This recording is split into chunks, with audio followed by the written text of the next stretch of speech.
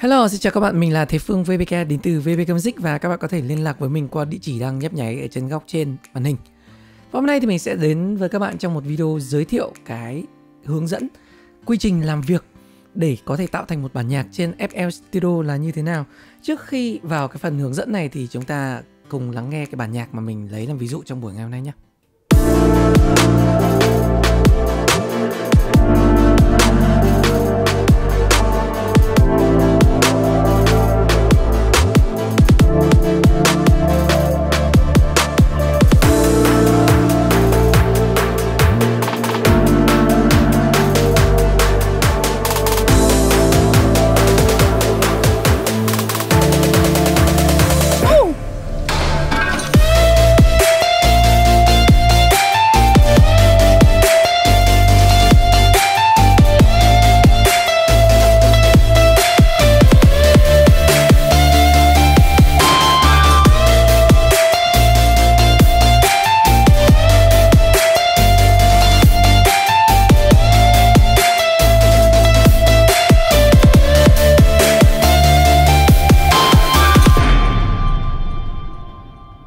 Ok và đây là video dành cho những bạn mới chập chững tiếp xúc với FL Studio hoặc là các bạn chưa biết gì về FL Studio đang có nhu cầu muốn làm một bản nhạc, một beat nhạc tất cả chúng ta đều có thể làm được trên FL Studio. Và bây giờ thì mình sẽ lướt qua một chút cái quy trình để các bạn có thể làm nhạc được. Việc đầu tiên ở phía bên trái khi mà các bạn mới khởi động FL Studio nó sẽ có một cái giao diện như này. Đây, đây là giao diện chính của FL Studio. Đây là quả xoài live và quả dâu tây. Các bạn sẽ có các cái cửa sổ làm việc như sau. Đầu tiên toàn bộ phần files ở bên trên các bạn sẽ thiết lập toàn bộ những thứ có trong FL Studio.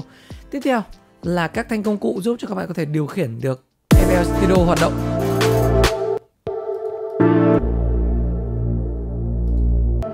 Đó, toàn bộ cái thanh công cụ này sẽ điều khiển quá trình mà chúng ta làm việc. Sau đó là chúng ta có phía bên trái. Đây là nơi mà chứa các sao, các âm thanh để các bạn có thể đưa vào trong bản nhạc của chúng ta. Bây giờ ví dụ mình sẽ đưa vào đây một cây guitar nhá. Đó, và đây là cây guitar và chúng ta có thể tạo ra tiếng guitar. Thì toàn bộ cái phần bên trái này gọi là browser và browser nó sẽ giúp cho chúng ta tìm được các cái nhạc cụ các cái sao mà chúng ta mong muốn để đưa vào trong bản nhạc.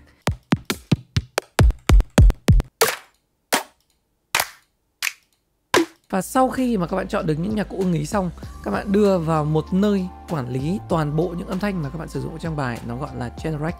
Ở trong channel rack này nó sẽ có thêm các cái cửa sổ của nhạc cụ khi mà các bạn click vào từng kênh.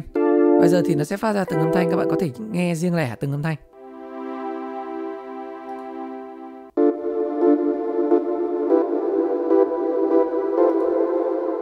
Khi mà bạn click vào từng âm thanh nó sẽ xuất hiện ra những cái cửa sổ mới. Khi mà các bạn đã có nhạc cụ rồi các bạn phải xác định được cho nó chơi như thế nào trong bản nhạc đúng không? Thì bây giờ là chúng ta có một cái cửa sổ gọi là piano roll. Và ở cái cơ sổ này chúng ta sẽ bố trí được cao độ và trường độ. Nghĩa là cái nốt của bạn sẽ chơi có độ cao như thế nào có độ dài như thế nào. Mình giả sử đây là một cái key. À, bây giờ mình mình muốn cao lên này.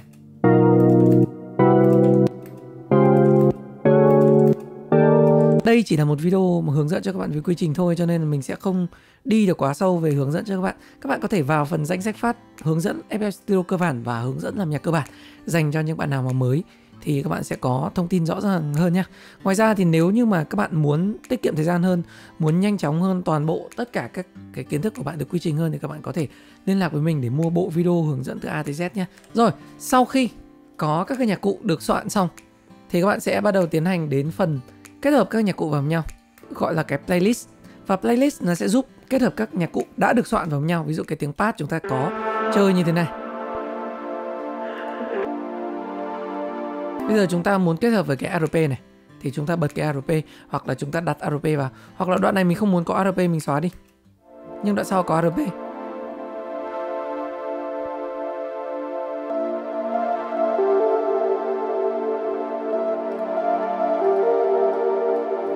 Và trên playlist sẽ đưa ra cấu trúc cuối cùng của bài Nghĩa là các bạn phát triển. Đầu tiên là đoạn dạo như thế nào này Đoạn hát như nào, đoạn điệp khúc như nào Đoạn drop như thế nào. Hoàn toàn là các bạn sẽ xử lý ở trên playlist.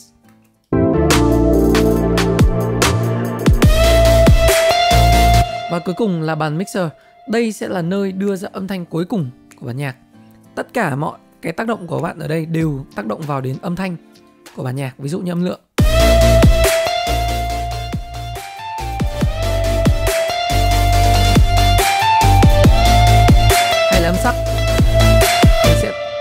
Tăng tiếng trống lên để cho bạn nghe nhé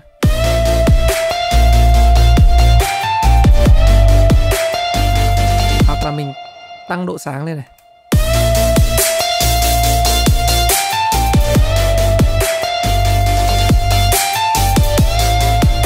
Hoặc là mình cho nó tách sang trái và tách sang phải này.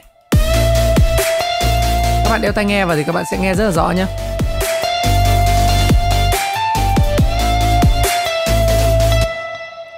và toàn bộ, đó là quá trình làm nhạc bằng FL Studio để ra được một bản nhạc hoàn thiện.